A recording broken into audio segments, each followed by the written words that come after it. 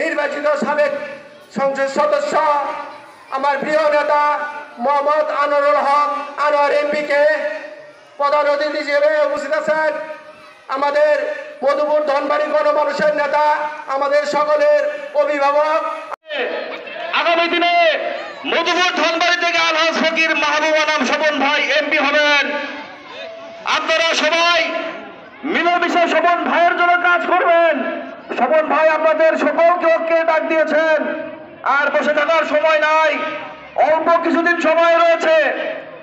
আরেকটি কথা না বললেন আপনাদের মধ্যে উত্তাপ আহ্বান রইল। এই বলে আমি আমার সংক্ষিপ্ত বক্তব্য শেষ করছি। সাবেক ডাকসুর সদস্য খন্দকার আনোয়ারুল হক সাহেব, মঞ্চে উপস্থিত আছেন।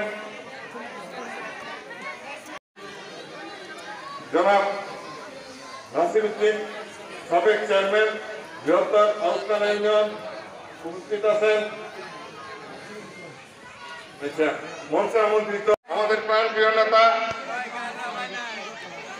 ফকির মাহবুবা নাম শোভন ভাইয়ের হাতকে শক্তিশালী করব। আমাদের নেতা ফকির মাহবুবা নাম শোভন ভাই, তিনি ছিলেন, তিনি আছে এবং তিনি থাকবেন। আমরা এই ইফতার মাহবুলের মাধ্য দিয়ে আমরা দলকে সুসংগঠিত করে আগামী দিনে তাকে আমরা এই ধনবাড়ি মধুপুর থেকে জাতীয় সংসদ সদস্য হিসেবে মনোনীত করব এবং বোর্ডে জয়যুক্ত করব। বর্তমান শহীদ স্বৈরাচারী হাসিনা সরকারের মন্ত্রী এমপিদের। আপনারা জানেন, তাদের কোনো জনপ্রিয়তা কোথাও নাই।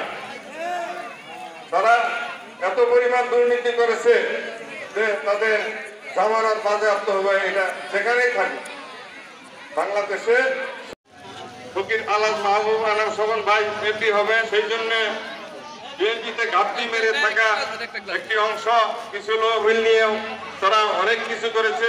এটা শুধু ধর্মীয় অনুভূতিতে আঘাত করে না, এটা দলকেও ক্ষতিগ্রস্ত করা। এই সকল লোক দলের কান্ডারি হতে পারে না। এই সকল লোক আমাদের কাছে ছোট ভাই রবিন বলে গেছে, ভাইরা। আমিও তাই বলব কথার সাথে একমত, ভাইরা। তারা আমাদের কাছে ভাইরাস এদেরকে ওই ওষুধ দিয়ে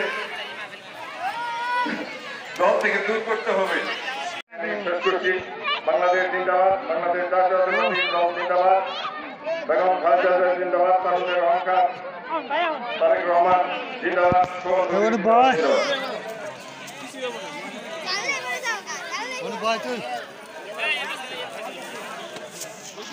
এখন বক্তৃতা দেওয়ার জন্য অনুরোধ জানাচ্ছি।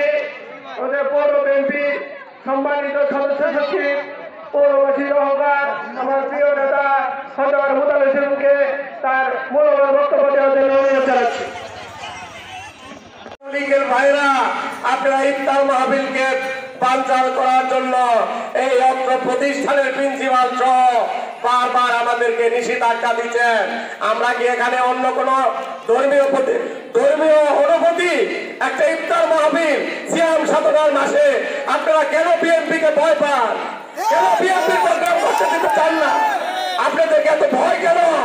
আপনারা ভোট চুরির সরকার। আপনারা রাতের আধারে ভোট নেন। আপনাদের ভয়। বিএনপির প্রোগ্রাম যদি করতে দেয়, জনগণ বেরিয়ে আসলে। আজকে সঠিক নির্বাচন হলে আপনারা এক মুহূর্ত সরকার গঠন করতে পারবেন না। এই জন্য আমাদেরকে তোমাদের জন্য ইফতার পার্টি ইফতার মাহফিলকেও এই ছোটবাড়ির বাড়িতে এমন আওয়ামী লীগের কুতুব আছেন, তারা চ্যালেঞ্জ করেন যে ইফতার মাটি পার্টি করতে দিব না। আপনারাও ছোটবাড়িতে থাকেন, আমরাও পাশের গ্রামে থাকি। আপনারাও হাতে পায়ে করা মানুষ, আমরাও মানুষ। আমরা ইফতার পার্টি করব। ইনশাল্লাহ বিগত দিনে আপনাদেরকে সাবধান করে দিতে চাই। আমাদের সময় আপনারা ইফতার পার্টি করেছেন, জনসভা করেছেন, আমরা তো কোনদিন বিরোধিতা করি নাই। আমরা আপনাদেরকে সহযোগিতা করেছি। আপনি আমাদের ভাই, আমরা চাই আপনারা আমাদেরকে সহযোগিতা করবেন আমরা আপনাদেরকে সহযোগিতা করব। আমরা সন্ত্রাসী কার্যকলাপে রাজনীতিতে বিশ্বাসী নয়। আলহাজ ফকির মাহমুদ আলম স্বপন সাহেব একজন ভদ্রলোক আমরা তার সাথে রাজনীতি করি। আমরা তার দেখেছেন মধুপুরের মাটিতে আলহাজ ফকির মাহবুব আলম স্বপন সাহেবের গাড়ির পহর এবং তার গাড়িকে সন্ত্রাসী বাহিনী দ্বারা কীভাবে ভাঙচুর করা হয়েছে? আমরা সেখানে নীরব ছিলাম। আমরা মধুপুরের জনগণ দেখেছে, মধুপুরবাসী সাক্ষী। আজকে সঠিক নির্বাচন হলে আলহাজ ফকির মাহবুব আলম স্বপন করে সরকার গঠন করেছে। তারা গণতন্ত্রের কথা বলে, আমরাও গণতন্ত্রের কথা বলি। তারা গণতন্ত্রের কথা বলে ভুগাস আর আমরা বলি সঠিক।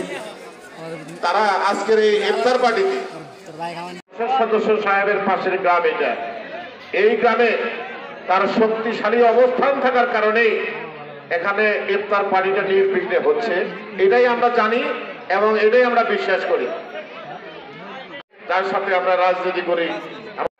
প্রতিষ্ঠা করার জন্য সেই দিন তুমি জেলখানা থেকে জামিনে মুক্ত হয়ে এসে তুমি যেদিন বলেছিলে প্রার্থী হিসেবে নির্বাচনে অংশগ্রহণ করে নির্বাচিত হয়েছিলেন আপনাদের ভোটে। জনাব আশিকার পর নবাব সাদ হাসান আলী মেয়ে এবং নবাব নবাব আলী মেয়ে ধনবাড়ি হিসেবে যান আপনারা জানেন, তিনি আজকে সকাল ছয়টায় ঢাকার এবার হাসপাতালে ইন্তেকাল করেছেন। প্রিয় ভাইয়ের আমার, সেই জন্য সারা মধুপুর ধর্মের আজকে একটু শোকাবহ পরিবেশ। তারপর আমরা আজকে এই জনবাহিতে পূর্ব নির্ধারিত আমাদের ইফতার মাহফিল ছিল। সেই ইফতার মাহফিলে আগত আমার সাথে সফর সঙ্গী, মধুপুর উপজেলা বিএনপি সংগ্রামী সাধারণ সম্পাদক এবং অবশ্যই ইউনিয়নের চেয়ারম্যান। যারা নাসির উদ্দিন আহমেদ, এখানে উপস্থিত মধুপুর পৌরসভার আমাদের এই পার্শ্ববর্তী দুর্গাপুর গ্রামের কৃষি সন্তান, বিশিষ্ট ব্যবসায়ী, জনাব আল হাস খন্দকার বসেন এখানে উপস্থিত অনেক বিএনপির সিনিয়র নেতৃবৃন্দ আলী মোলামাগর বিশেষ করে মাদ্রাসার অধ্য- অধ্যাপক, মাদ্রাসার শিক্ষক জনাব মৌলানা আব্দুর রশিদ সাহেব এখানে উপস্থিত হাফেজ জনাব হাইবুল্লাহ হাফেজ সাহেব সহ এই জনবাড়ি কৃষি সন্তান এখানে উপস্থিত। কাপুর শাসন কলেজের অধ্যাপক জনাব মুবাসের আহমেদ আওয়ামী লীগ করে তাদের পকেটে। তারা লুটপাট করে নিয়ে গেছে। তারা সেখানে কথা করে না। কেউ ট্রাঙ্কে কেউ সুটকেছে কেউ আলমারিতে টাকা পয়সা রেখে দিচ্ছে কখন বিপদ আছে কখন পালায় যাইতে হয়, তখন এই দেশ ছেড়ে আমার পাশের দেশে, দাদা ভাইদের দেশে আশ্রয় নিতে হয়। এই জন্য তারা টাকা পয়সা পকেটে রাখছে যে দৌড় দেবে টাকা পয়সা দিয়ে যেতে পারে। তাই কিছু নাই দোকানপাটে বেচা বিক্রি কম, অর্থনীতিতে মন্দাভাব এক দুঃসহ অর্থনৈতিক পরিস্থিতি। সারা দেশে একটা মন্দাভাব চলছে।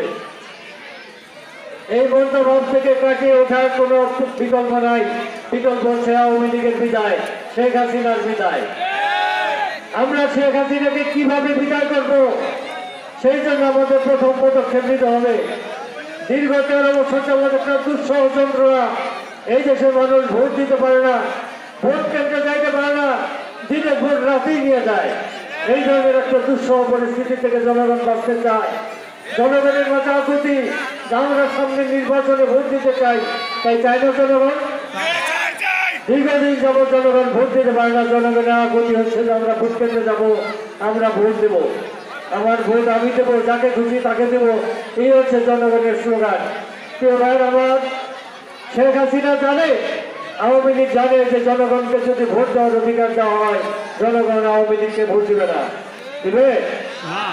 আওয়ামী লীগের সাধারণ সম্পাদক ওয়াইদুল কাদের নাম শুনছেন আপনারা অনেকেই বলে ওয়াইলা কাদের তার ভাই কি বলছে জানেন দিকটা বলে যাবে সালিম আলহামদুলিল্লাহ وقنا عذاب النار اللهم حفظنا من كل بلاء الدنيا وعذاب الآخرة فإنك خير الحافظين আয় আল্লাহ দুনিয়া এবং আখেরাতের সমস্ত বালা মুসিবত হতে আমাদেরকে তুমি হেফাজত করো মাহবুদ আয় আল্লাহ, আজকের এই একটা মাহফিলকে তোমার শাহী দরবারে কবুল ও মঞ্জুর করে নাও মাহবুদ আয় আল্লাহ, আমাদের স্বাধীন সার্বভৌম সোনার বাংলাদেশকে আল্লাহ তোমার শাহী দরবারে কবুল ও মঞ্জুর করে নাও মাহবুদ আয় আল্লাহ, এই বাংলাদেশকে তুমি কবুল করে নাও মাহবুদ আয় আল্লাহ, এই বাংলাদেশের যত নির্যাতিত মানুষ আছে, সকলকে তুমি তোমার গাইবি এমদাদ সাহায্য সহযোগিতা দ্বারা আল্লাহ তাদেরকে কামিয়াব করো মাহবুদ আয় আল্লাহ, আমাদের ভিতরে ভাতৃত্ব বোধ সৃষ্টি করে দাও মাহবুদ আমাদের ভিতরে বিভেদকে তুমি দূরীভূত করে একত্রিত হবার তৌফিক দান করো মা।